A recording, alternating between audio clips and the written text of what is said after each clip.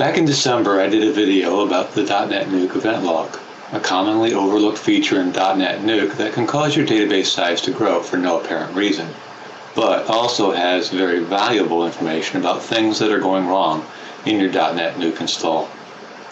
Today, we're going to look at another commonly overlooked feature of DotNetNuke, and once again, this feature is not only one that can chew up a lot of space if you don't know about it, it can also save your butt, or at least save you a considerable amount of time.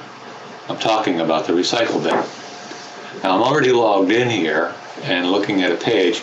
Let me just show you where this recycle bin is right now. It's hanging off of uh, the admin menu option and then recycle bin. And we choose that and it's going to take us uh, right into this page here where we have uh, a list of pages and a list of modules and then the page that we want to restore, uh, the page of the module two. And if you restore it to a page to another page, it makes it uh, a child of that page.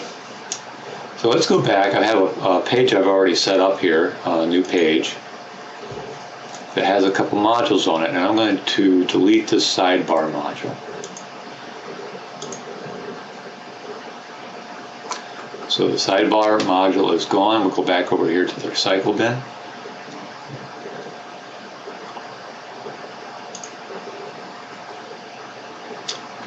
And you'll see our sidebar one module is listed as part of the modules. Now we can restore it to home page or whatever. We're going to restore it back to the page that we just deleted it from.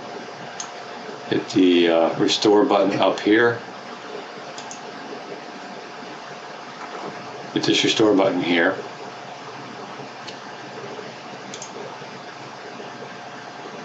And that places it back on new page. And then we can put it back on the, uh, the right pane where we had it. So move right pane. Now you can do the same thing if you delete the page. We're just going to go here and hit this delete button here. And yes, we want to delete the whole page. The page is gone. It's not under home anymore. We'll go over here to our recycle bin. And there's the page right there. And we're going to restore it to be a child of home. And there's our page back.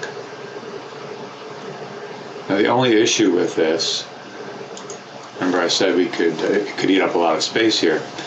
The problem is, is this does not work like um, the Windows recycle bin in that it's not going to automatically delete these for you uh, as you run out of space. So what you need to do is periodically you need to come in here and delete uh, individual pages or modules, or you can just come in here and hit the uh, empty recycle bin link here, and that'll delete everything from the recycle bin and, and get you quite a bit of space back, uh, particularly if you've done a lot of editing where you've added uh, pages and deleted pages, added modules, deleted modules, and done a lot of editing in your system.